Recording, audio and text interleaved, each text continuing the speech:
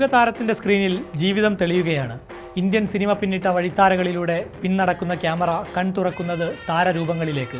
നീണ്ടു നിവർന്നു കിടക്കുന്ന ആ തിരശീലയിലെ രാജസാന്നിധ്യങ്ങളുടെ ഒപ്പം നടക്കാം.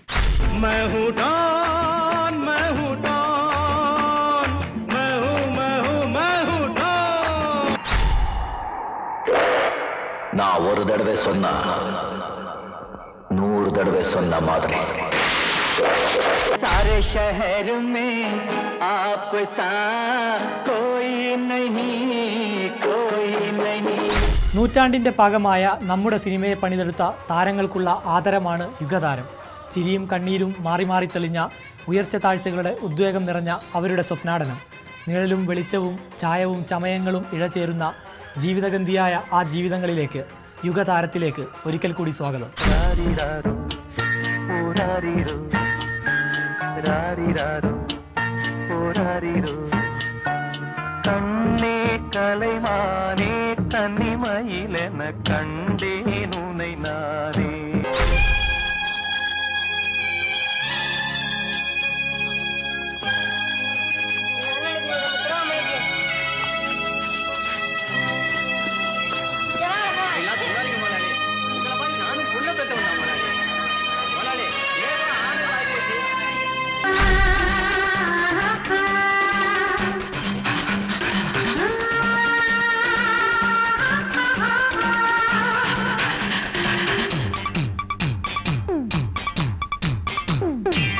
സിനിമയ്ക്ക് താരങ്ങളെ വേണ്ടാതായ കാലമെന്ന തലക്കെട്ടുണ്ട് ന്യൂ ജനറേഷൻ എന്ന് വിളിപ്പേരിട്ട സിനിമാ ജനസിന്. പുതിയ കാല സിനിമ ഏത് സമവാക്യം എടുത്തണിഞ്ഞാലും യുഗതാരങ്ങൾ പക്ഷേ ഉയരത്തിൽ തന്നെ ചിരി തൂകി നിൽക്കും. ഇരുമ്പാണി തട്ടി മുളയാണി വെച്ച് പൊൻകാരം കൊണ്ട് ചുരിക വളക്കാൻ കൊല്ലന് പതിനാറ് പണം കൊടുത്തവൻ ചന്തു. മാറ്റം ചുരിക ചോദിച്ചപ്പോൾ മറന്നുപോയെന്ന് കളവ് പറഞ്ഞവൻ ചന്തു. മടിയിൽ അങ്കത്തളച്ചുകൂടെ കിടക്കുന്ന വീരന്റെ വയറ്റിൽ കുത്തുവിളക്കിന്റെ തണ്ട് താഴ്ത്തി മാറ്റാൻ കൂട്ടത്തിലേക്ക് ചാടി രക്ഷപ്പെട്ടവൻ ചന്തു. കൊടുഞ്ചതികൾ പിന്നെ എന്തൊക്കെ പാടി നടക്കുന്നുണ്ട് പാണർ നിങ്ങളുടെ നാട്ടിൽ? ഏതേതോ കഥയിൽ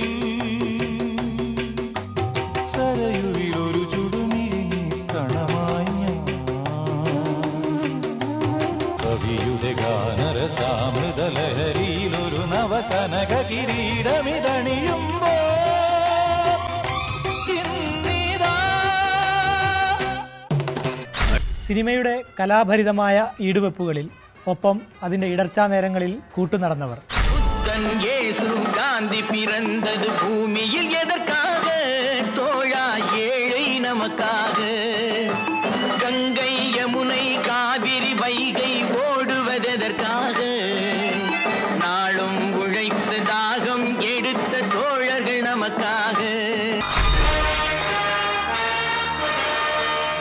मर तो तू उसी वक्त गया था जब तूने बाबा को धोखे से मरवा दिया था आज तो सिर्फ तेरा क्रियाक्रम करने आई हूँ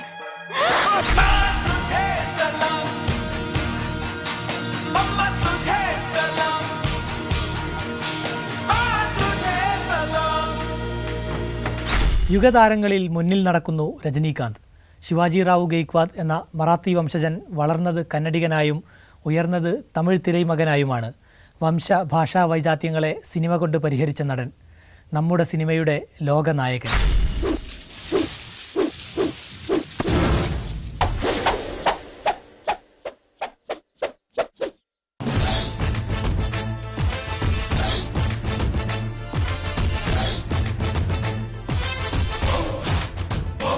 நீங்க யாரு நானா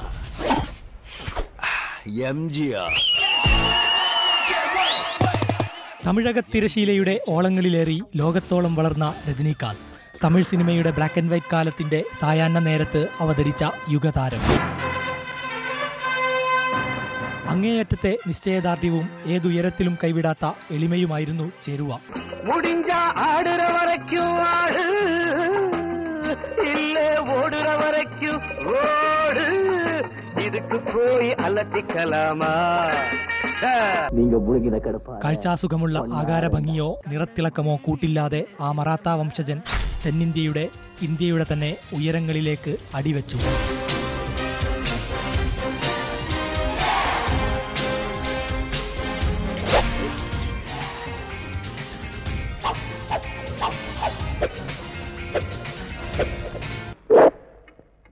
ഒരു തടവേ സ്വന്ന നൂറ് തടവേ സ്വന്ന മാതിരി.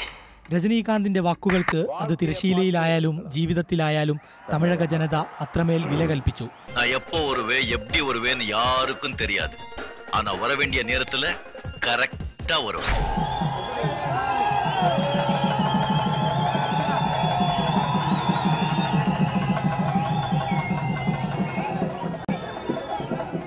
രജനീഭാവങ്ങൾക്കൊപ്പം അവർ ജീവിതത്തിന്റെ പല കാലങ്ങളിലൂടെ നടന്നു ஒருவன் ஒருவன் முதலாளி உலகில் மற்றவன் தொழிலாளி விதியை நினைப்பவன் ஏமாளி அதை வென்று முடிப்பவன் அறிவாளி ആ കഥാപാത്രങ്ങളുടെ വികാര വിചാരങ്ങളിൽ അവർ ആവേശം കൊണ്ടു என் வழி தனி வழி ധർമ്മത്തിൻ നായകനായി കാലത്തിന്റെ ശരികേടുകൾക്കെതിരെ ആ കഥാപാത്രങ്ങൾ അവർക്കായി പൊട്ടിത്തെറിച്ചു இந்த பாஷாவுக்கும் ஆண்டோனிக்கு தான் சண்டை இதுல நீ சாகணும்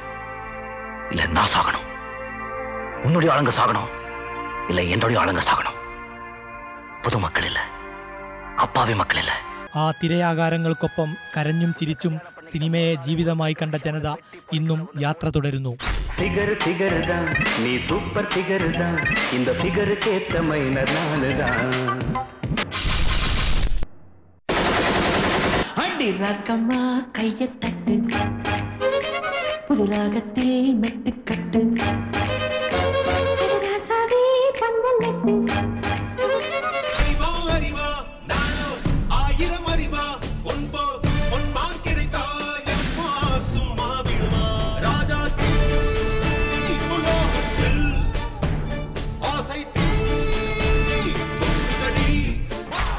ദ്രാവിഡ രാഷ്ട്രീയത്തിൽ ഇളക്കങ്ങളുണ്ടാക്കാൻ രജനീകാന്തിന്റെ പോക്കുവരവുകൾക്കായി സിനിമയുടെ തിളക്കങ്ങളെ മനുഷ്യപ്പറ്റിന്റെ രൂപഭാവങ്ങൾ കൊണ്ട് ജയിച്ചാണ് രജനി ഹൃദയങ്ങളെ തന്നിലേക്ക് അടുപ്പിച്ചു നിർത്തിയത്.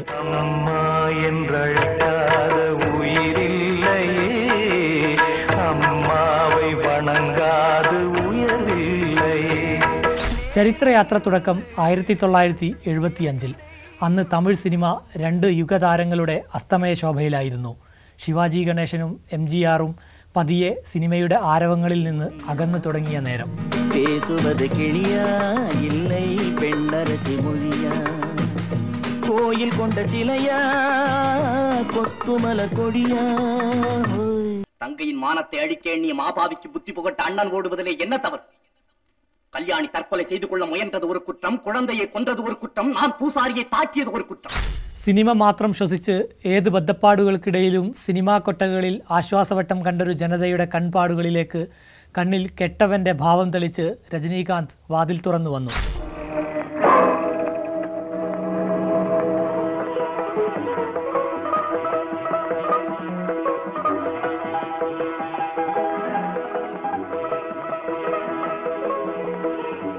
யார் நீங்க பைரவி வீடு இதானே ஆமா நீங்க யாரு சொல்லுங்க சார் யார் நீங்க அ- அவளுடைய புருஷன் അപൂർവ രാഗങ്ങൾ എന്ന ചിത്രത്തിൽ അവിടവിടെ വന്നുപോയ പ്രതിനായകൻ നാടകത്തട്ടിൽ ആ കണ്ണിലെ തിളക്കം കെ ബാലചന്ദർ എന്ന സംവിധായകൻ തിരിച്ചറിഞ്ഞിടത്ത് തമിഴ് ജനതയുടെ ജീവിതത്തിന്റെ തിരക്കഥയിലെ ഏറ്റവും വലിയ ട്വിസ്റ്റ് ആരംഭിക്കുകയായി അങ്ങനെ പിൽക്കാല കരിയറിലുടനീളം സിനിമയിലെ എതിരാളിയായി എഴുന്നുനിന്ന കമലഹാസൻ നായകനായ ചിത്രം രജനീകാന്തിന്റെ ആദ്യ വരവിന്റെ കാഹളം മുഴക്കി ஓ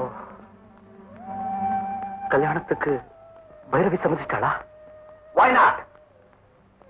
கல்யாண பத்திரிகை காட்டணுமா ஆதாரமா ஆனா நீதான் அவங்கிறதுக்கு உங்ககிட்ட என்ன ஆதாரம் இருக்கு அஹ்? ஆஹா. இன்னைக்கு பைரவியோட பிறந்த நாள் பிறந்த நாள் அவகிட்டே கேட்டுப்பான் அப்ப கிடைக்கும் ஆதாரம்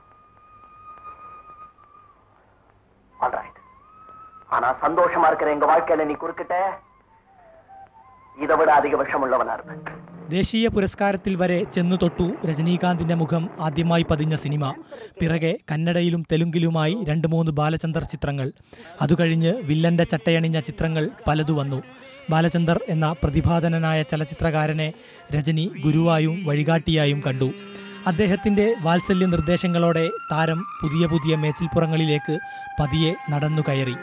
അക്കാലത്ത് ക്യാമറക്കണ്ണിലൂടെ രജനിയുടെ മുഖത്തേക്ക് നോക്കിയവരിൽ പി. ഭാരതിരാജയും ഉൾപ്പെട്ടു. കലാപരമായും ശ്രദ്ധ നേടിയ പതിനാറ് വയതിനിലെ എന്ന ചിത്രത്തിൽ ക്രൂരത നിറഞ്ഞ ഗ്രാമീണ റൗഡിയായി രജനിയെത്തി നീ മുതല്ല ഇപ്പോവേ പോയ ഭയങ്കര പിടിച്ചിട്ട് വാ. ഒരു പൊടി പൊടിക്കര. ബാലചന്ദർ വഴികാട്ടിയായി മുന്നിൽ നടന്നപ്പോൾ എസ് പി മുത്തുരാമൻ എന്ന സംവിധായകൻ രജനിയെ പുതിയ ഭാവങ്ങളിൽ പരീക്ഷിച്ചു. ഭുവന ഒരു കേൾവിക്കുറിയിൽ ആദ്യമായി തിരയിലൊരു നല്ല മനുഷ്യനായ രജനിയെ കണ്ടു.